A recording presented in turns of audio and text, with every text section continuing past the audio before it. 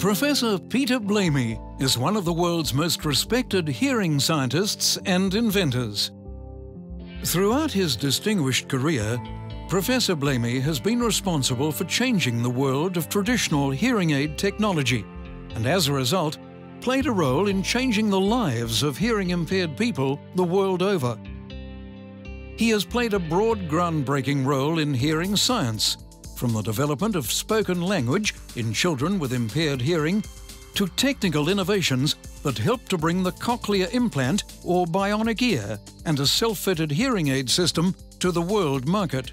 We met at the Bionic Ear Institute where I joined the team as a, a researcher and Peter was working on some really interesting work on hearing aids and cochlear implants with children. I was at Monash doing my PhD in uh, nuclear physics and I uh, saw cochlear implant advertised in the paper, applied for the job and got to work with Graeme Clark and a fabulous team of people. Peter's the sort of person who's always focused very strongly on one specific goal and tried to make sure that that goal would become a reality.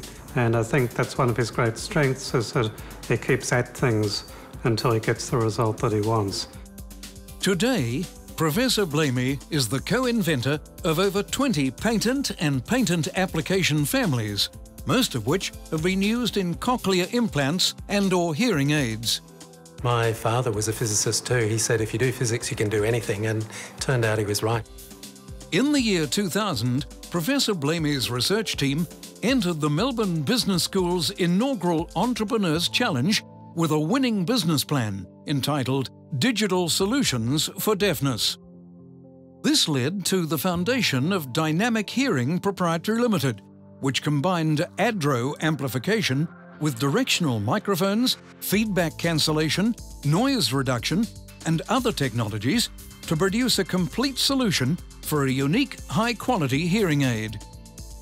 Professor Blamey and the co-founder of Dynamic Hearing, Dr. Elaine Saunders, licensed the technology to hearing aid and headset manufacturers internationally. ADRO is an amazing digital amplifier. Peter invented it when he was trying to make sure that uh, the loudness of hearing aids was kept audible and comfortable. ADRO was first developed for people who had a cochlear implant in one ear and a hearing aid in the other. It gives better sound quality because it doesn't compress the sound so much into the, the hearing range of the listener. And it's also very easy to fit.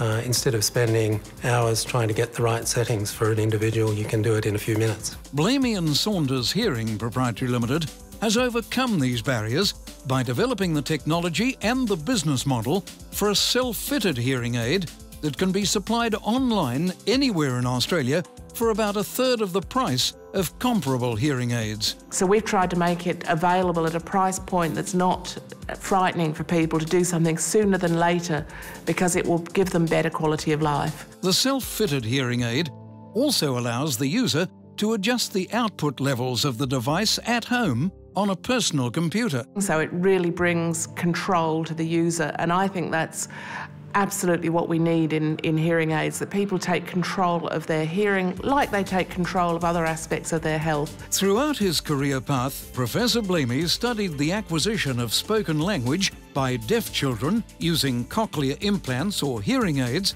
and developed a computer-aided speech and language analysis package that is widely used for research.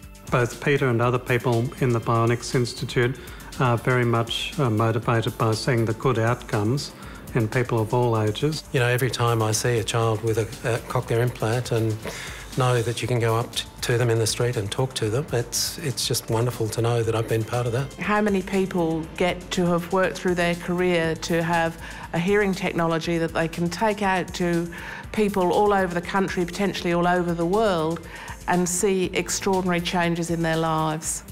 Professor Blamey is now chairman of Blamey and Saunders Hearing Proprietary Limited and Deputy Director for IP and Commercialisation of the Bionics Institute.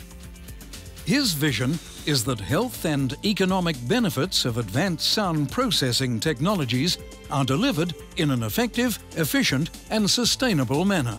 We're working on a, a bionic eye. We're working on a device for uh, the detection and suppression of epileptic seizures, another device which stimulates deep in the brain to treat things like Parkinson's disease, obsessive compulsive disorder. But the technologies that we've worked so carefully on for 30 years are now going to see an explosion of new applications.